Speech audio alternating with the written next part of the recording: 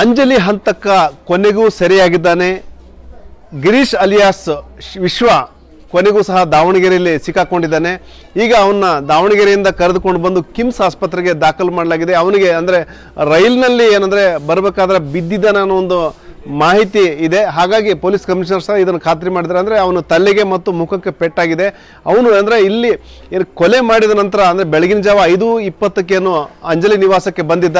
ಆ ಅಂಜಲಿ ನಿವಾಸದಲ್ಲಿ ಏನು ಒಂದು ಮೂರು ನಿಮಿಷಗಳಲ್ಲಿ ಅಂದರೆ ಅವನು ಆಟೋದಲ್ಲಿ ಬಂದು ಇಳಿದು ಸೀದಾ ಮನೆಗೆ ನುಗ್ಗಿಬಿಟ್ಟು ಚಾಕುವಿನಿಂದ ಬರ್ಬರವಾಗಿ ಹತ್ಯೆಗೈದು ತಕ್ಷಣ ಅವನು ಎಸ್ಕೇಪ್ ಆಗಿ ಮತ್ತೆ ಬಸ್ ಸ್ಟ್ಯಾಂಡ್ಗೆ ಹೋಗಿ ಅಲ್ಲಿಂದ ಹಾವೇರಿ, ಅಲ್ಲಿಂದ ಹಾವೇರಿಯಿಂದ ದಾವಣಗೆರೆ ಮತ್ತು ಮುಂದೆ ಮೈಸೂರಿಗೆ ಹೋಗಿದ್ದ ಅನ್ನೋ ಒಂದು ಮಾಹಿತಿ ಲಭ್ಯವಾಗಿದೆ. ಅಂದರೆ ಅವನೇ ಹೇಳೋ ಪ್ರಕಾರ ಏನಂದರೆ, ನಾನು ಮೈಸೂರಿಗೆ ಹೋಗಿದ್ದೆ, ಹುಬ್ಬಳ್ಳಿಯಿಂದ ಮೈಸೂರಿಗೆ ಹೋಗಿದ್ದೆ. ಮೈಸೂರಿಂದ ಏನಂದರೆ ವಾಪಸ್ ಬರ ಹುಬ್ಬಳ್ಳಿಗೆ ಬರ್ತಾ ಇದ್ದೆ. ಆ ಸಂದರ್ಭದಲ್ಲಿ ನನಗೆ ದಾವಣಗೆರೆಯಲ್ಲಿ ಈ ರೀತಿಯ ಒಂದು ಯಾರೋ ನನ್ನನ್ನು ರೈಲಿನಿಂದ ತಳ್ಳಿದ್ರು. ನಾನು ಬಿದ್ದುಬಿಟ್ಟೆ ಆದರೆ ಯಾರು ತಳ್ಳಿದ್ರು, ಏನು ಎತ್ತ ಅಂತ ಗೊತ್ತಿಲ್ಲ ಅನ್ನೋ ಒಂದು ಮಾತನ್ನು ಹೇಳಿದ್ದಾನೆ. ಅಂದ್ರೆ ಇನ್ನೊಂದು ಕಡೆ, ಇನ್ನೊಂದು ವರ್ಷ. ಅಂದ್ರೆ ಅವನು ಹೇಳೋ ಪ್ರಕಾರ ನನಗೆ ಯಾರು ತಳ್ಳಿದ್ರು ಏನು ಎತ್ತ ಅಂತ ಗೊತ್ತಿಲ್ಲ ಅಂತ ಅವನು ಹೇಳ್ತಾನೆ. ಮತ್ತೊಂದು ಕಡೆ ಏನಂದ್ರೆ, ರೈಲ್ನಲ್ಲಿ ಏನಂದ್ರೆ ಚಾಕು ಹಿಡ್ಕೊಂಡು ಒಬ್ಬ ಮಹಿಳೆ ಮೇಲೆ ಹಲ್ಲೆ ಮಾಡ್ಲಿಕ್ಕೆ ಯತ್ನ ಮಾಡ್ತಾನೆ. ಆ ಸಂದರ್ಭದಲ್ಲಿ ಸಾರ್ವಜನಿಕರು ಅವನಿಗೆ ಗೂಸಾ ಕೊಡ್ತಾರೆ. ಈ ಒಂದು ಗೂಸಾ ಕೊಟ್ಟಂತ ಸಂದರ್ಭದಲ್ಲಿ ಅವನು ಏನು ಆಯತಪ್ಪಿ ಬಿದ್ದಿದ್ದಾನೆ ಅನ್ನೋ ಒಂದು ಮಾಹಿತಿನೂ ಇದೆ. ಅಂದ್ರೆ ಒಟ್ಟಾರೆ ಅವನು ರೈಲಿನಿಂದ ಬಿದ್ದು ಒಂದಷ್ಟು ತಲೆಗೆ ಪೆಟ್ಟಾಗಿದೆ ಮತ್ತು ಮುಖಕ್ಕೆಲ್ಲ ಪೆಟ್ಟಾಗಿದೆ. ಈಗ ಸದ್ಯ ಅವನಿಗೆ ಕಿಮ್ಸ್ ಆಸ್ಪತ್ರೆಯಲ್ಲಿ ಚಿಕಿತ್ಸೆ ಕೊಡಲಾಗ್ತಾ ಇದೆ. ಇಲ್ಲಿ ಮುಖ್ಯವಾಗಿ ಏನಂದ್ರೆ, ಅವನು ಹೇಳೋ ಪ್ರಕಾರ ಏನಂದ್ರೆ ನಾನು ಆಕೆನ ಏನು ಅಂಜಲಿನ ಪ್ರೀತಿ ಮಾಡ್ತಾ ಇದ್ದೆ, ಆದ್ರೆ ಆಕೆ ಏನಂದ್ರೆ ಅದನ್ನ ರೆಫ್ಯೂಸ್ ಮಾಡಿದ್ಲು. ನನ್ನ ನಂಬರ್ ಸಹ ಬ್ಲಾಕ್ ಮಾಡಿದ್ಲು. ಹಾಗಾಗಿ ಸಿಟ್ಟು ಬಂತು ಅಂತ ಹೇಳ್ತಾನೆ. ಅವನೇನಂದ್ರೆ ಈಗ ಕೊಲೆ ಮಾಡೋ ಸಂದರ್ಭದಲ್ಲಿ ಅವನು ಹುಬ್ಬಳ್ಳಿಯಲ್ಲಿ ಇರಲಿಲ್ಲ. ಇವರು ಇರೋದು ಈ ಕೆ ಅಂಜಲಿ ಇರೋದು ವೀರಾಪುರ ಓಣಿಯಲ್ಲಾದ್ರೆ ಅವಂದು ಎಲ್ಲ ಓಣಿ. ಅವ್ರದ್ದು ಸಹ ಕಡು ಬಡತನ ಕುಟುಂಬ ಇವ್ರದ್ದು ಏನು, ಅಂಜಲಿದು ಸಹ ಬಡ, ಬಡತನ ಕುಟುಂಬ. ಆಕೆಗೆ ಮೂವರು ಸಿಸ್ಟರ್ಸ್ ಇದ್ದಾರೆ ಜೊತೆಗೆ ಅಜ್ಜಿ ಜೊತೆ ತಾಯಿ ತೀರ್ಕೊಂಡ ನಂತರ ಅಪ್ಪ ಮನೆ ಬಿಟ್ಟು ಹೋದ ನಂತರ, ಅಂದರೆ ಇವ್ರನ್ನ ಬಿಟ್ಟ ನಂತರ ಆಕೆ ಅಜ್ಜಿಯ ಆಶ್ರಯದಲ್ಲಿ ಜೀವನ ಮಾಡ್ತಾ ಇದ್ಲು. ಇಡೀ ಕುಟುಂಬಕ್ಕೆ ಅಂಜಲಿನೇ ಆಶ್ರಯ ಆಗಿದ್ಲು. ಇಂತಹ ಸಂದರ್ಭದಲ್ಲಿ ಈ ಈ ರೀತಿಯ ಒಂದು, ಅಂದರೆ ಮದುವೆ ಪ್ರೀತಿ ಇತ್ಯಾದಿ ನೆಪದಲ್ಲಿ ಅವನು ಬರ್ಬರವಾಗಿ ಹತ್ಯೆಗಿದ್ದಾನೆ ಈಗ ಹತ್ಯೆ ಮಾಡಿದ ನಂತರ ಅಂದ್ರೆ ಅವನು ಏನು ಹಂತಕ ಏನಿದ್ದಾನೆ, ಅವನು ಸಹ ಇಲ್ಲಿ ಬೇರೆ ಬೇರೆ ರೀತಿಯ ಒಂದು ಎಂ ಒ ಬಿ ಆಗಿದ್ದ ಬೇರೆ ಬೇರೆ ಪೊಲೀಸ್ ಠಾಣೆಗಳಲ್ಲಿ ಅಂದ್ರೆ ನಾಲ್ಕು ಪ್ರಕರಣ, ಬೈಕ್ ಇರ್ಬೋದು ಮತ್ತು ಬೈಕ್ ಕದಿಯೋದಿರ್ಬೋದು, ಬೇರೆ ಬೇರೆ ಪ್ರಕರಣ, ಒಟ್ಟು ನಾಲ್ಕು ಪ್ರಕರಣ ಅವನ ವಿರುದ್ಧ ದಾಖಲಾಗಿದ್ವು.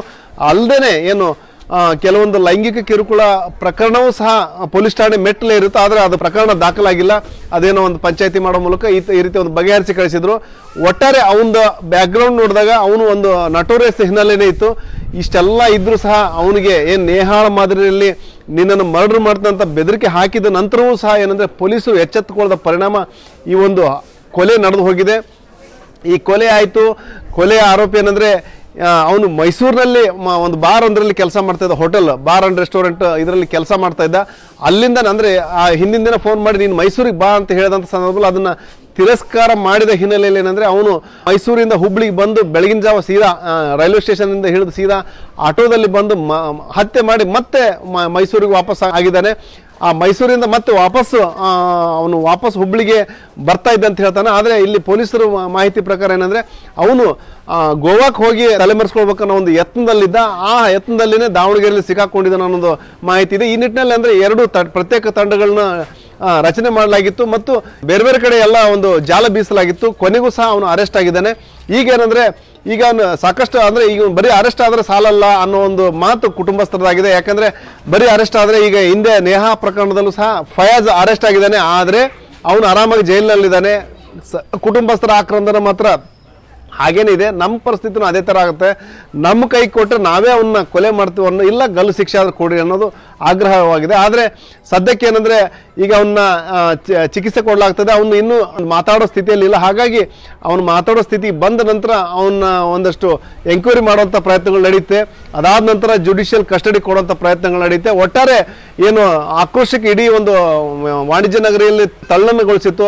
ಆ ಒಂದು ಅಂಜಲಿ ಪ್ರಕರಣಕ್ಕೆ ಸಂಬಂಧಪಟ್ಟಂಗೆ ಆರೋಪಿ ಬಂಧನವಾಗಿದೆ.